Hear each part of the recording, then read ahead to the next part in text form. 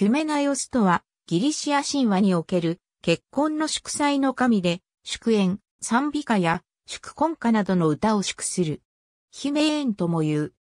この神の名に関連するヒメナヨスとは、神道神父を新居まで送る古代ギリシアの結婚行進歌のことであり、そこで歌われる反復ヒュメンヒュメナヨー、またはヒュメンヒュメナイエがいつの間にか神への呼びかけと解釈され、結婚を司る神になったとされている。彼は翼を持つ愛の神エロースたちの一柱である。ヒュメナヨスはアポローンとムーサたちの一柱との間に生まれた息子とされている。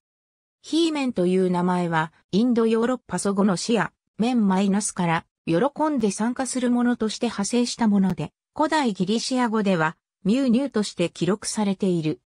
英単語のヒュメンにはヒュメーンと諸女膜の二つの意味があるが、後者はギリシア語の膜に由来するもので、ヒュメナヨスと直接の関係はない。ニコラ・プッサンが女性に扮してプリアプスに供物を捧げるヒュメナヨス1634年、サンパウロ美術館所蔵キューピッドとヒュメナヨスが刻印された1807年の記念硬貨。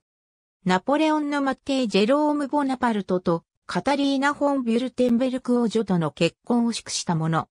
ヒュメナヨスはすべての結婚式に現れ、もし現れなければ、その結婚の悲劇性が証明されるだろうと考えられていた。そのため、ギリシアの人々は、ヒュメナヨスの名を声を出して呼び回った。ギリシア神話で彼は、すべての神とその子供たちのため、多数の結婚式の司会を務めた。ヒュメナヨスは、ガイウス・ワレリウス・カトゥルスによって広められた、起源不明な古代ギリシアの結婚歌、ヒュメン王ヒュメナイエ、ヒュメンの中で祝されている。少なくとも、イタリアのルネサンス以降、ヒュメナヨスは芸術上において頭に花冠をつけ、片手に燃える松明を持った若者の姿で表現される。ジョージ・レニー制作の彫刻、ヒュメナヨスの松明を再び燃え盛らせるキューピッド、ヒュメナヨスはエウリピデス著、トロイアの女の作中で言及されており、そこでカッサンドラは次のように語っている。さあ、掲げてください。捧げてください。運んでください。明かりを。ご覧ください。私は崇めます。照らします。この神殿を、松明で。王、主なるヒュメナイオス様。花婿様は、お幸せです。アルゴスの町で、王様の寝床へと嫁ぎ行く。私もまた幸せです。ヒュメン、お、お主なるヒュメナイオス様ヒュメナイオスはまた、ベルギリウスのアエネイス及びウィリアム・シェイクスピアの戯曲7作品でも言及されている。お気に召すままの最後で、ヒュメナヨスはカップルたちに列席して、次のように告げる。まちまちに子を増やすは、背面の務め、たたえよ、幸せを生む夫婦の誓い、たたえよ、その名を超え高らかにたたえよ、まちまちに幸せをもたらす背面の名を。W.S. ギルバートと A. サリバンによる、幾何劇、軍艦ピナフォは作中にヒメナヨスの歌がある。他にも、紀元前7世紀から紀元前6世紀の詩人、殺法の詩にもヒメナヨスが登場する。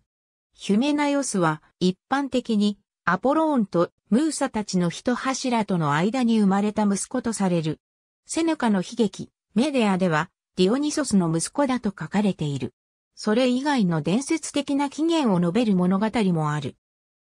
ヘシオドス作とされるメーフレツ伝の現存する一節は、マグネースがとても美しい子、ヒュメナヨスを持った。アポローンはその子を見て好きになり、マグネースの家をなかなか去ろうとしなかったと伝えている。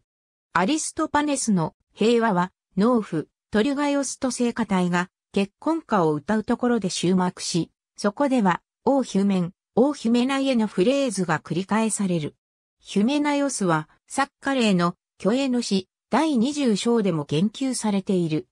1921年のヒルダ・ドリトルの詩集、ヒーメンは、花嫁になる古代ニリシア女性の儀式を想像して作られた長大な詩である。後のロマンス作品では、ヒュメナヨスは素晴らしい美貌の持ち主だが、生まれは仮想階級のアテー内の若者として登場し、町の裕福な男の娘に恋をする。ヒュメナヨスは身分の違いから彼女に話しかけることも求愛することもできず、仕方なく彼女の後をつけ回す。ヒュメナヨスは女性しか行くことを許されない、エレウシースの秘儀への行列に女装して参加する。しかし一行は、海賊の捕虜になる。ヒュメナヨスは女性たちを励まし一緒に計略を練る。そして、海賊たちを全員で殺害する。